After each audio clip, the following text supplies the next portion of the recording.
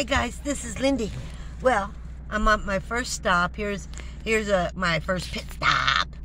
Here's a rest area. I've been on the road two hours.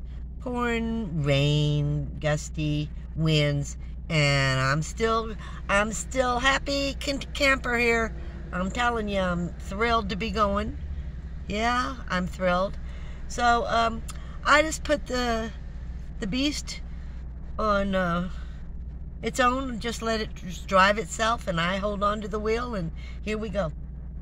So I thought I'd just uh, check in, let you know I'm moving along. I'm heading there. I got eight more hours to go. Talk to you later.